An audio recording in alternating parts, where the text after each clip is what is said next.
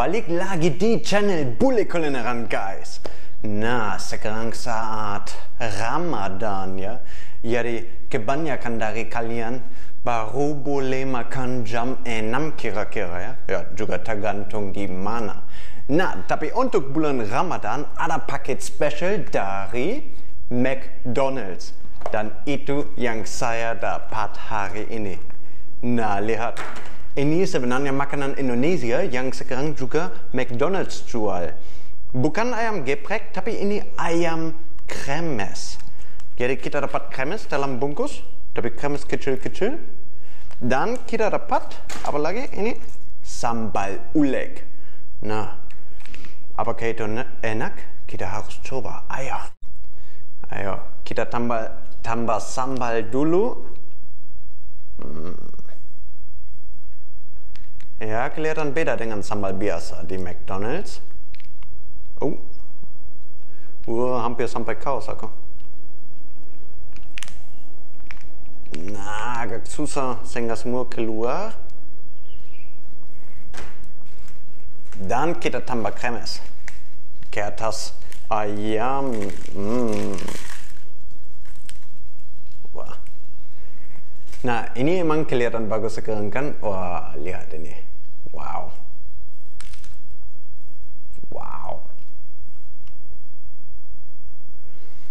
Aku pesan yang paket special.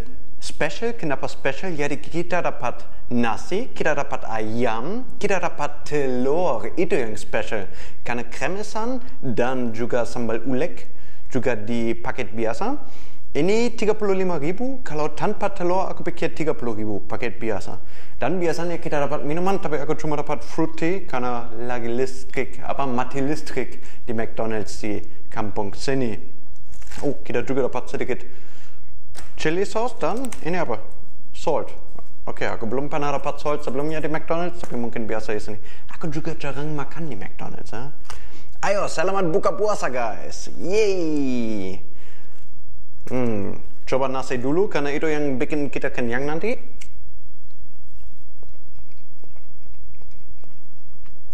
Hmm, aku udah cicipi sedikit sambalnya, tapi belum terlalu terasa.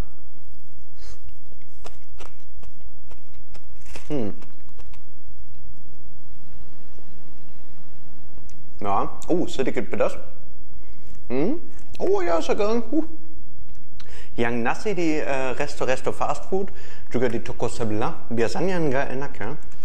Ini. Nah lumayan. Kalau lapar apalagi kalau baru buka puasa pasti sangat lapar kan? Jadi kalau buka puasa ini pasti enak ayo coba ayo, uh, apa telur dulu hmm nah itu tidak terlalu enak buat aku ya dan sekarang yang paling penting, ayam kremesan. Nah, jadi sebenarnya ini seperti ayam biasa, cuma dengan kremesan ya. Hmm, masuk akal.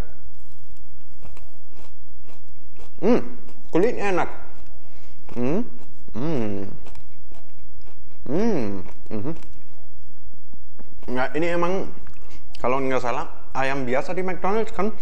Aku jarang makan di McDonald's jadi aku kurang tahu tapi ya rasa juga seperti KFC menurut aku.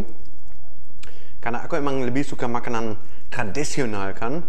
Tapi kalau lihat ini uh, special buka untuk buka puasa hmm, harus dicoba. Ayo sekarang dengan cukup banyak sambal mm hmm. Hmm. Sebenarnya enak ini aku suka hmm. Ya, harganya 35 tambah pajak jadi 39 akhirnya aku pikir. Kira-kira begitu. Hmm. Nah, juga tidak sering lihat bule makan pakai tangan ya. Hmm. Tapi enak.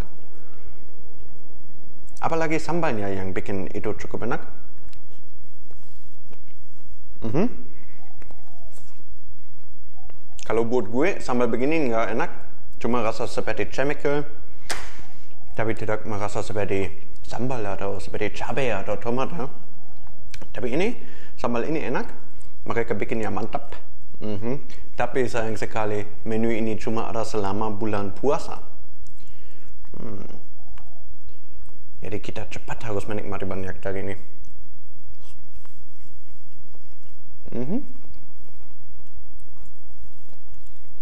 Nah, makanan terenak di McDonald's apa ya untuk kalian? Dan apalagi buat buka puasa apa yang paling enak? Apakah itu bagus makan McDonald's buat, buat buka uh, puasa atau enggak ya? Hmm. hmm. Saya selalu pikirkan kalau mau buka puasa biasanya paling bagus kalau juga makan yang bergizi kan. Jadi sebenarnya mungkin McDonald's tidak terlalu masuk ke kategori itu. Hmm, kurang tahu. Nah. Hmm. Bule makan pepotan.